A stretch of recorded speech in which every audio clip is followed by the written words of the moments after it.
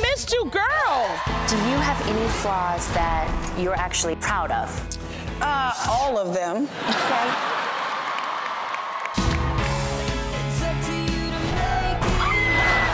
What's your fondest memory of your daughter? Her smile.